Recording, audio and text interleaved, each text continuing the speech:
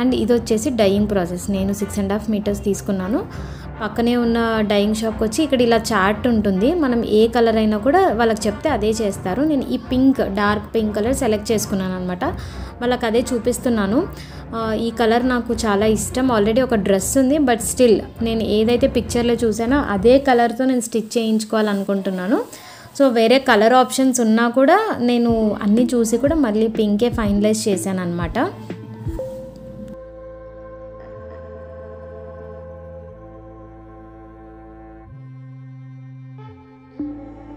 ఇది వచ్చేసి dyeing process అనమాట మీలో ఎవరికైనా తెలియకపోతే డయింగ్ ఎలా చేస్తారు ఏంటి అని చెప్పి చూడండి. నేను ఫస్ట్ టైం చేయించుకుంటున్నాను.